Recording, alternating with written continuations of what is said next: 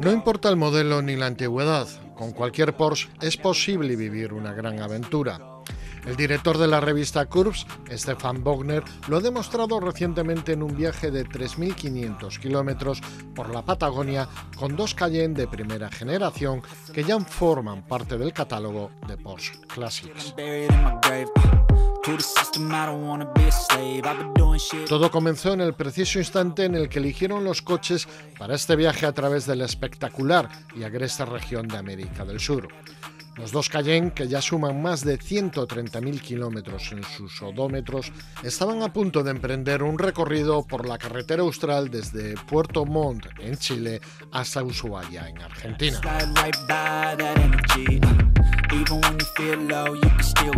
Los dos subs montaban llantas y neumáticos para uso todoterreno. También estaban equipados con portaequipajes, tienda de techo, estribos laterales y protectores de bajos, todos ellos pertenecientes a la gama de accesorios Porsche de Equipment.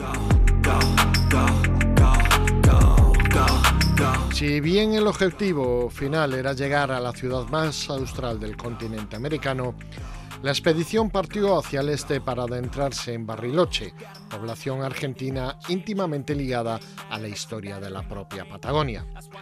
Tras salir de Puerto Montt, la ruta bordeó la Icue, el primero de los muchos lagos de diferentes colores que separan los dos países.